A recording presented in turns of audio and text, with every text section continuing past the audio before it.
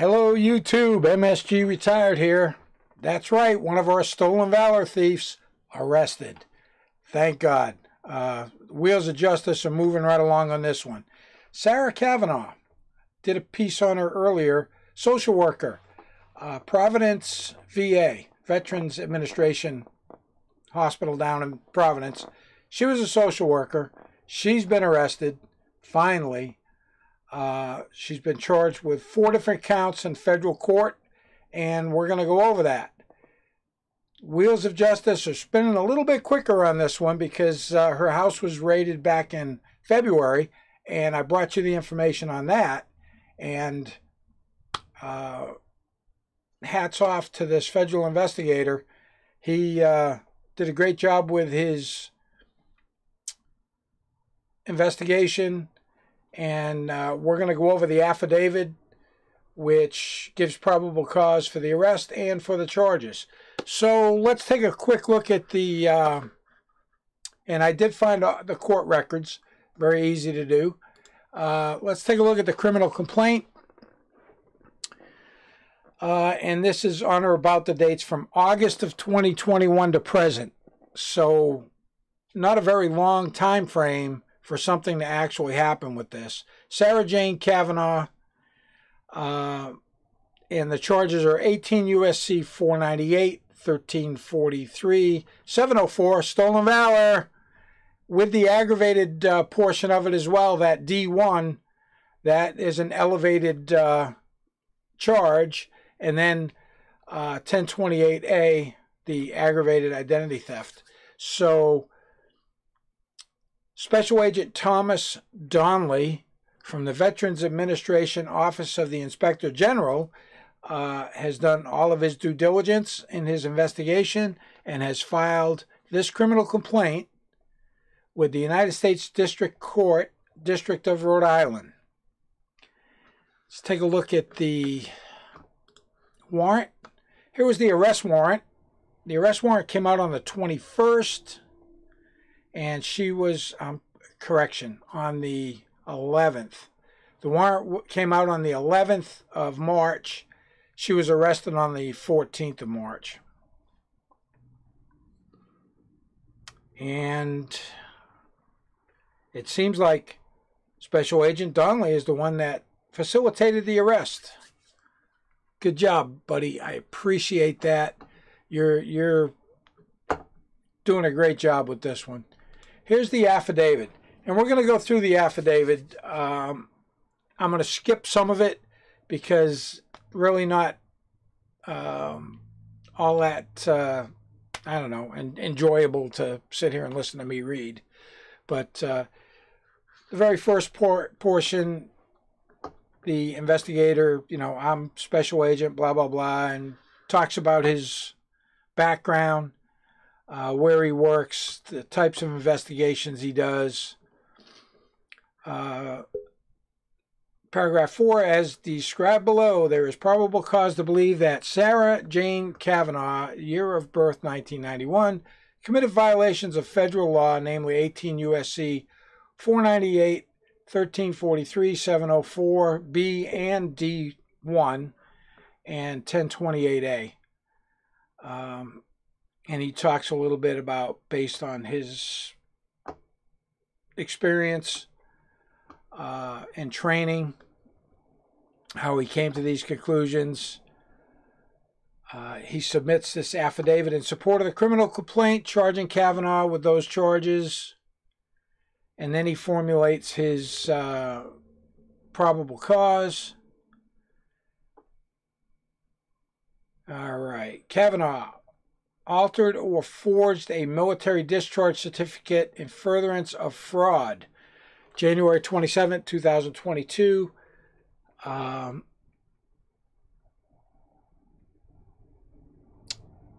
the VA received an inquiry from. Now, this is the person that blew the whistle on Cavanaugh, Chelsea Simone. Uh, she represents a nonprofit, Hunter 7. They contacted the VA trying to get um, verification on Cavanaugh. So they looked through it. Uh, let's see. Simone provided copies of medical bills, a medical diagnosis for cancer, and a DD 214, which is your discharge paperwork. Uh, the medical bills appeared to show that Cavanaugh was undergoing cancer treatments at Dana Farber Institute in Boston, Mass, where she had lung cancer from exposures to burn pits and inhaling particulate matter from an, the aftermath of an improvised explosive device. Um, the DD 214 showed that she served in the Marine Corps from 2009 to 2016, achieved the rank of corporal. However, of course, in her photographs, she's wearing staff sergeant. Uh, further scrutiny of the DD 214 by Cavanaugh to Simone revealed inconsistencies. Then he talks about what he looked at. I'm not going to dig down into the uh, weeds on this. Uh, first off, I don't want to tip off any of these other scumbags out there that are forging these DD214s. There's other ways to validate this. They actually found out who the original DD214 belonged to. And I'm going to skip down. And it's talking about a uh, uh, DPRIS. It's an ID number, basically, uh, instead of using social security numbers. And they found out actually who this DD 214 belonged to. Uh, she claims military medals to which she was not entitled in furtherance of fraud, which Stolen Valor Act, the 804 B and D1. Here she is with the staff sergeant on.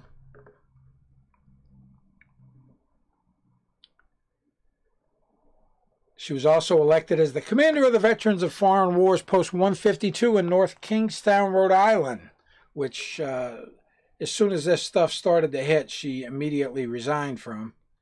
But she never had any uh, any rights to be a member of the VFW because she was never in the military.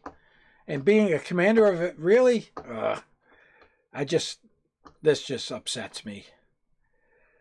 Um, let's see. They checked into her VA email accounts. They found where she had ordered these medals from a company in California.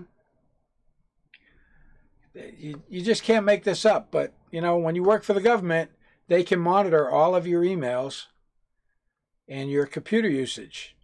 So, Cavanaugh's claim of being a Purple Heart, and I'm going to go right down to here.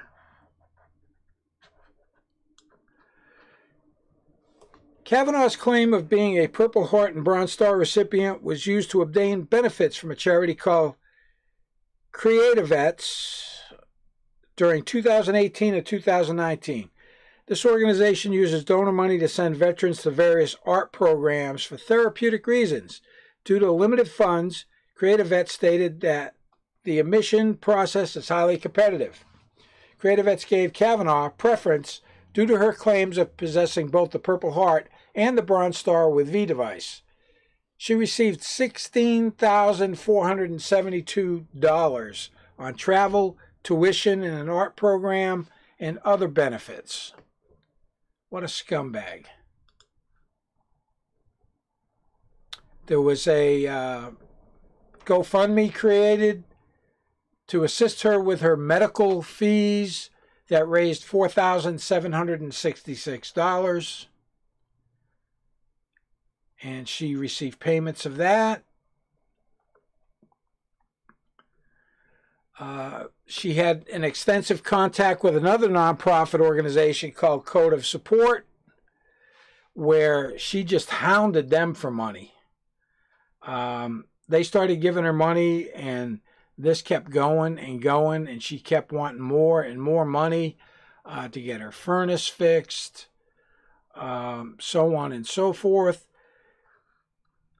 The Matthew Pacino Foundation gave her $10,372 to get her uh, furnace repaired. She kept contacting this uh, this nonprofit. Uh, she got a gym membership paid for. Uh, mortgage payment that was in arrears. She got twenty four hundred plus dollars on that. Um, then she said she was getting six thousand one hundred and eighty four dollars from the VA, but that was cut. And requested fifteen hundred dollars for just unspecified monthly bills. So code of support stated that uh, she had gotten over eighteen thousand four hundred and seventy-two dollars. Also, uh, Wounded Warrior Program between 2017 and 2021, representing herself as a wounded combat veteran. She was receiving $500 per month for groceries and physical therapy sessions for a total of over $207,000. This scumbag, she needs to be put under the jail. So then they talk a little bit about the EDIPI ID number that was on the DD214. They tracked the DD214 down to a Patrick Herney. Um, there was some embellishment on it and some changes made to it. They verified that it was, in fact, his signature uh, and initials on it. And it's they're unsure how Cavanaugh had gotten a copy of it, but she had accessed his records through the VA because Herney had been seen at the VA in Providence. So it's it's unknown how or why she got his, but uh, she did it. There's also a a reimbursement letter for COVID for travel, and she used her spouse's name, Nicole Bregler, on this. And Anna Samantha Fallon, who's a known associate of Cavanaugh, uh, to get, I forget how much it was, it should say in here. Um, no, I don't see it. It was it was like nine hundred dollars worth of travel fees for a cancel flight due to COVID.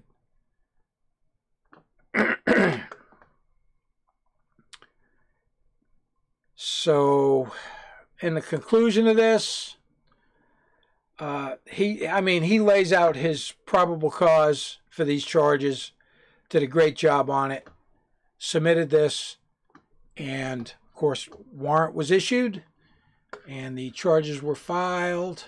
Here the here's the official charging document uh, from the court. So it's count one, 18 USC 498. Used or exhibited a military discharge certificate, knowing the same to be forged, counterfeit, or falsely altered, with a maximum penalty of one year imprisonment, $100,000 fine, one year supervised release, and a $25 special assessment. Count number two fraud by wire, radio, or television, 18 USC 1343, max penalty 20 years imprisonment, $250,000 fine, three years supervised release, and $100 special assessment. That's the big one. The rest of them are one year, two year uh, maximum penalties. This one's got a 20 year max, and I hope that the judge hammers her for at least 10. She deserves more. She deserves the max on each one of these. Here's your stolen valor 18 USC 704B and D1, which elevates the charge with intent to obtain money, property, or other tangible benefit, fraudulently held herself out to be the recipient of the Purple Heart and Bronze Star with V device. Maximum penalty one year imprisonment, $100,000 fine, one year supervised release, and $25 special assessment. And then the aggravated identity theft because she used another's actual medical diagnosis and another's altered DD 214, two years imprisonment max, $250,000 fine, one year supervised release, and $100 special assessment. So as you can see, uh, Special Agent Donnelly did a great job. He uh, put his nose to the grindstone. There were many other uh, federal agents involved, the FBI, other investigative services, NCIS. Um, they all worked together on this, and a lot of work went into this, and I was so happy to see this pop up on the court docket. Uh, as soon as there is a court date set, I will be bringing you more information on what happens in the court. Um, probable cause, great job on that. Definitely met the, the uh, PC on this. And she was arraigned and released.